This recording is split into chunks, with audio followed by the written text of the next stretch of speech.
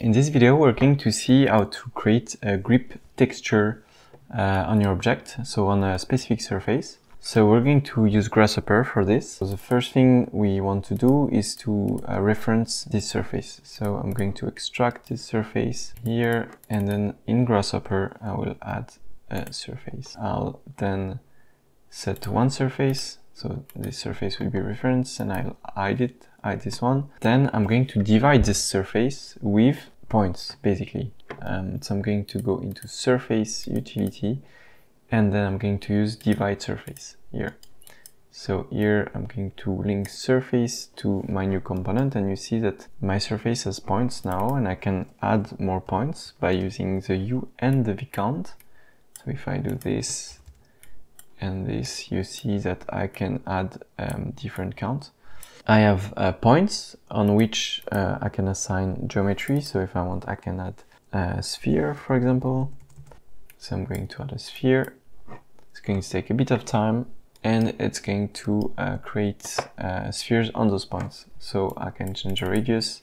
So let's say I want uh, three or what, two millimeter radius here so I'll link this here and you see that now I have uh, bigger uh, spheres. So there are two issues here. Um, so the first one being that um, as you see there are some spheres which are going very close to the edge. So it's, um, it's not looking great. You can delete them manually but there is a better way. So actually the thing you can do is to offset boundary of this surface and then cut this surface with it and then create a grid of point on this surface. So uh, to do this, I'm going to disconnect or to unenable this uh, component because it takes a lot of resources. And then I'm going to use the offset on surface here and uh, that you can actually find here. And I'm going to use this surface here so I'm going to link my surface and then for the curve, I will just extract the curve from my surface. So I will, I will unhide it. So I'll show it. And then I will duplicate the edge here. Now that I have this curve, I'm going to, in Grasshopper, I'll reference it, so curve, and I'll do set one curve.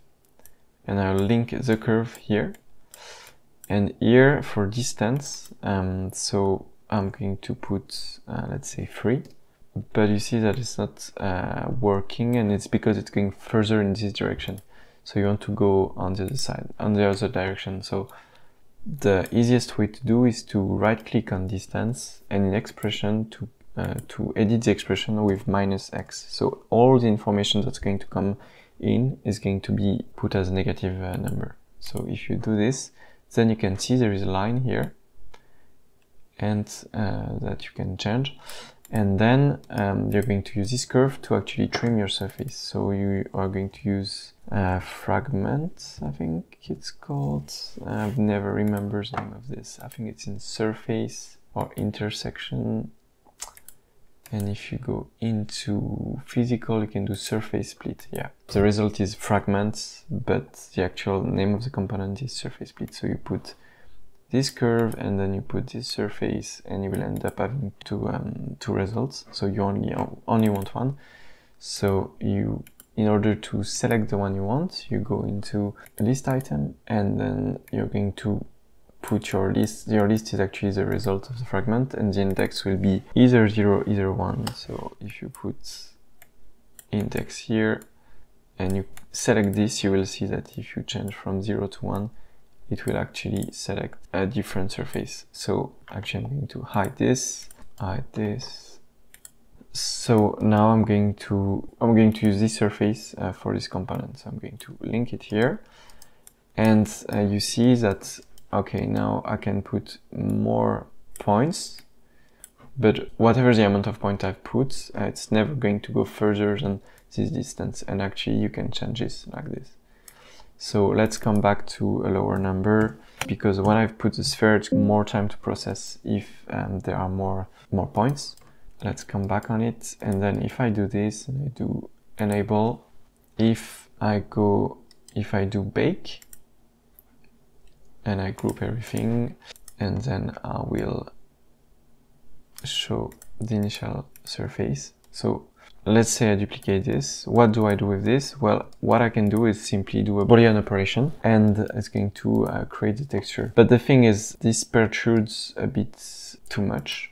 Uh, and I want those spheres to actually only have a tiny bit inside them, uh, going outside the surface. So I will have to move all those uh, points in one direction, but uh, it's going to be a different direction for all the spheres and this direction will be the normal at which they are on the surface. So then in order to move uh, those spheres inside or outside, depending on the result you want to do, uh, we're going to use a normal here for each of those spheres.